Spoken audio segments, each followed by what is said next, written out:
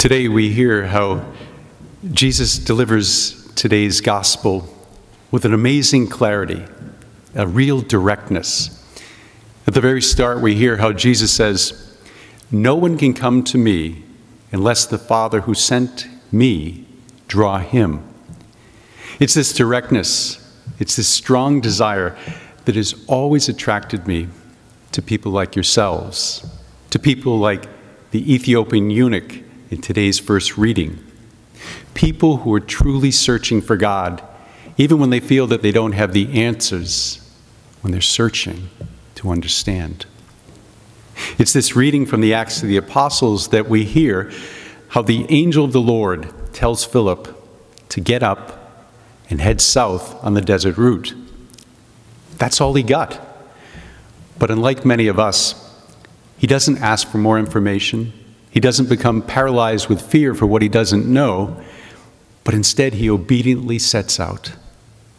That's when the Spirit provides the second instruction go up with that chariot.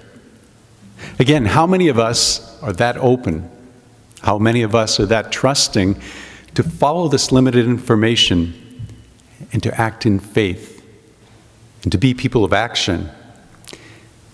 I believe it's this faith, this openness that allows Philip to see that high court official, to hear him reading from the prophet Isaiah, and then to ask the question Do you understand what you're reading?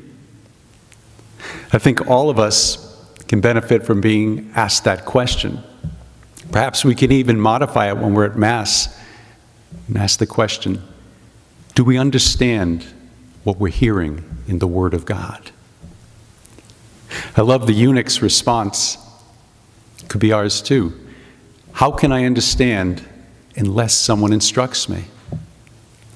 My brothers and sisters, in each of our families, God has given us parents and grandparents and others, and He's given us the responsibility, but also the gift of being able to teach the message of Jesus Christ. And though most of us aren't theologians, we do have the grace of God, and we do have the ability to ask others when we're stumped with the questions. We can read, we can watch videos, we can go to conferences, and many other ways to grow in a knowledge of Jesus Christ that can be shared with our family members, so that, like Philip, we too can proclaim Jesus Christ to our loved ones. One other thing that I noticed in this reading, and it is that as Philip and the eunuch are talking, that chariot is moving, much like our lives, as we seek to understand God at work in our families and beyond. In the end, Philip, like we, have heard the call of God.